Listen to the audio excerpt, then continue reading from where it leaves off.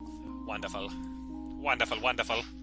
Hello, everybody, and welcome back to Plant Puns, guaranteed to leave you screaming in fear. Or running in fear, or whatever the thing. Whatever the whatever the politically correct thing to say these days is. You know what I mean? You know what I mean, Paco? Paco Taco. Glutina. Oh yeah. Sounds like a Pokemon. Go, Glutina! Why couldn't the gardener plant any flowers? He hadn't bought any. Ha ha! Yeah, yeah, yeah. God damn it. Why did the cactus get in trouble at school? It couldn't keep its plants to itself. so funny. So funny. So funny. Hey, why do why do herbs use Tinder?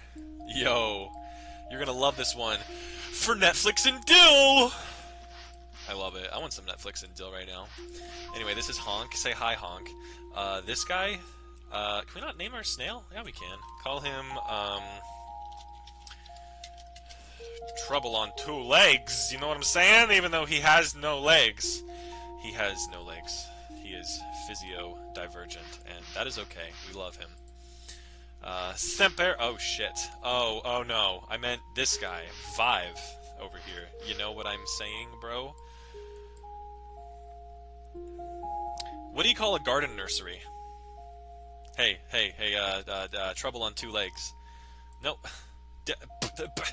hey, trouble on two legs. What do you call a garden nursery? Plant Parenthood! oh god. I hear them the voices. Huh, huh, huh, huh, huh, huh, huh. Her name was Lola! hey, Lola. Um, why was the cactus so smug? You listening, Lola? It's because it was an arrogant prick.